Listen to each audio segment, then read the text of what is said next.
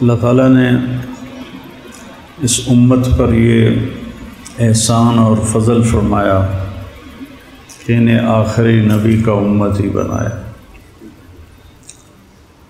और इनकी किताब का ज़िम्मा लिया कि मैं इसकी हिफाजत करूँ इन्ना नहनु नज़्ज़लना दिक्र व इन्ना लहू लहाफ़िज़ून।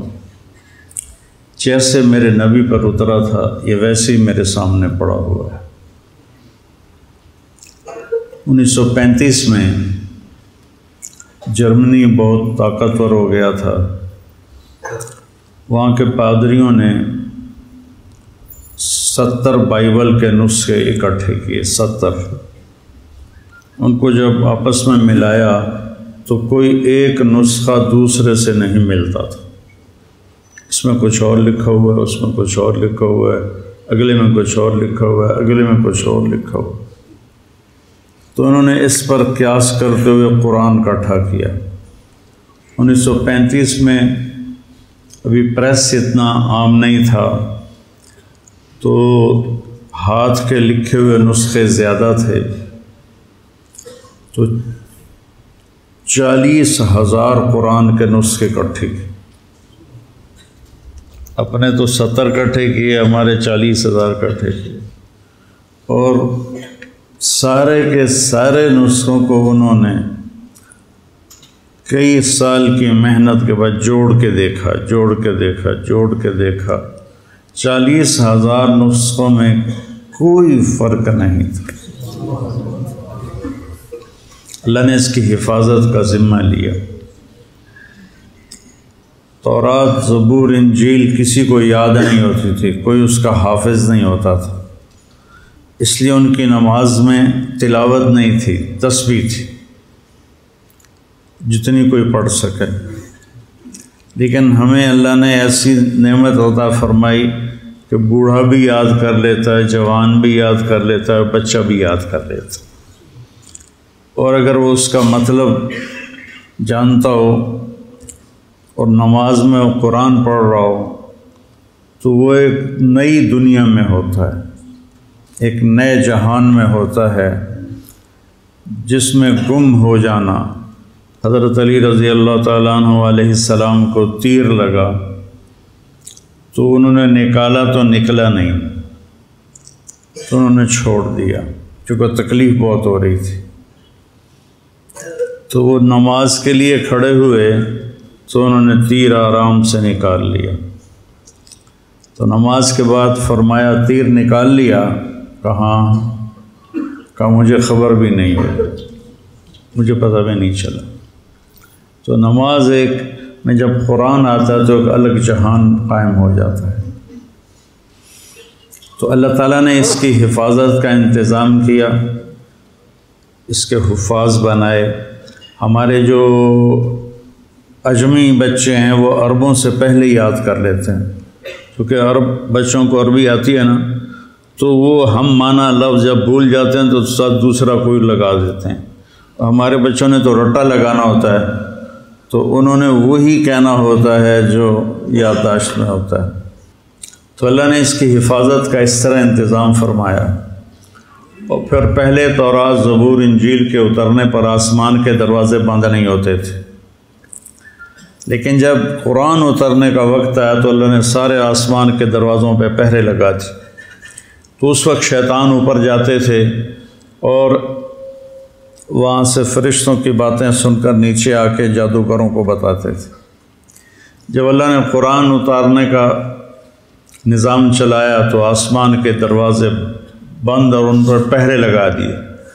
अब जब कोई शफ मनस्तरकसमा फ़तबहू शहाबन फ़ाकब जब कोई शैतान ऊपर चढ़ता था तो फरिश्ता उस पर आग बरसाते थे, वो जल के भस्म हो जाता था। तो अल्लाह ने कुरान की हिफाजत का इस तरह इंतज़ाम किया।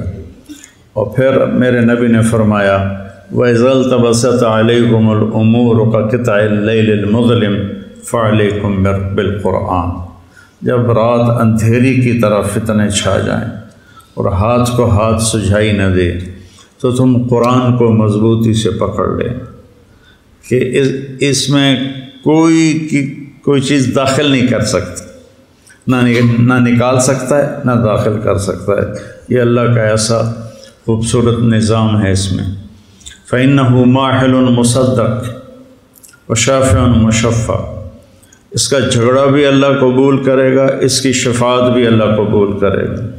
मन जालहू अमामहू कादहूजन्ना जो कुरान को आगे रखेगा। आगे रखने का मतलब है कि अपने आप को कुरान की ज़िंदगी के ताबे कर देगा। कुरान जिस ज़िंदगी को बताता है, ये उसके ताबे हो जाएगा। और अपनी सारी ख्वाहिशात को उस पर क़ुरबान कर देगा। तो साक़ुलजन्ना कुरान इसका हाथ पकड़ के इसको जन्नत में पहुँचा दे। मंजालहू खलफ़ा जो इसे पीठ के पीछे फिर कर देगा। क्या मतलब? कि कुरान के ज़िंदगी का पाबंद नहीं रहेगा और अपने नफ्स का ग़ुलाम बन जाएगा। बेसाबद्दरहम बेसाबद्दीनार व अब्दुलदरहम व अब्दुलक़ीफ़ा जो पैसे के ग़ुलाम बन जाएँगे, जो जेब ज़ीनत के ग़ुलाम बन जाएँगे, कुरान को पीछे फेंक देंगे, इसके मुताबिक अमल नहीं करेंगे तो साकहू नार। तो इसको धक्का दे के जहन्नुम में गिरा देगा तो भाइयों, ये बहुत बड़ी नेमत है। इसकी तिलावत भी किया करो। और अब इतने तर्जमे हो चुके हैं कुरान के। कुछ वक्त निकाल कर इसका तर्जमा भी पढ़ा करो। कि अल्लाह क्या कहता है? आपकी आसानी के लिए कहता हूँ। कुरान ने, कुरान में उन्नानवे दफ़ा, एटी नाइन या अल्लादीना आमनो आया है। ये सिर्फ़ अल्लाह ने हमसे बात की है। या योहन्नास सबसे बात कर रहा है। या योल्दीन कफ़र हो काफरों से बात कर रहा है। या अहल किताब, यहूद नसारा से बात कर रहा है। या योल्दीन हादू, सिर्फ़ यहूदियों से बात कर रहा है। काफिरून, सिर्फ़ काफरों से बात कर रहा है। फिर कहता है, या अयोहल्लिन आमन। ये अल्लाह ने अपने हमारे नबी की तो फैल हमें कितनी बड़ी शहादत मिली है कि अल्लाह कह रहा है, या अयोहल्लिन आमन, ए मेरे वो बंदो जो ईमान लाए अल्लाह हमारे ईमान की गवाही दे रहा है। ए ईमान वालो, ये खिताब किसी को नहीं दिया। या अल किताब, या ये सिर्फ़ इस उम्मत को खिताब मिला है। ए ईमान वालो तो जब अल्लाह कहता है ईमान वालों तो इसका मतलब है कि सिर्फ़ आपसे बात कर रहा है और अब अब अब अब किसी से बात नहीं हो रही। जैसे आप सारे लोग बैठे हुए हैं, मैं कहूँ, मरी नुमान, ज़रा मेरी बात सुनना। तो इसको मैं करीब करके इससे बात करता हूँ। तो आप समझेंगे कि इसी से कोई बात हो रही है, हमसे नहीं हो रही।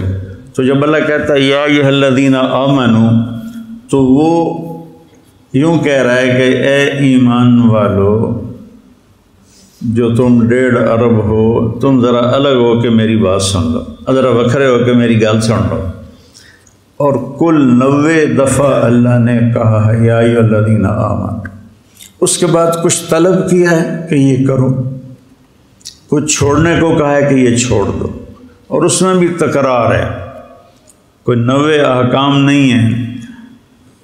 उनानवे, एक कम नवे और या यह नबी हो इज़ात अल्लक तुमसा इसको भी कायम मकाम यादीन आमन हो के मुफसरीन ने दिया है।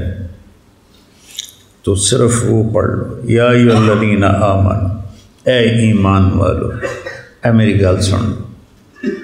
वो चुन लो। उस पर किताबें भी लिखी हुई हैं, अलग किताबें हैं, उनका तर्जमा भी है। तो वो पढ़ लो। असल तो पूरे कुरान को, वरना चलो उतना ही पढ़ लो। तो कुरान से हमारा दिल लग जाए।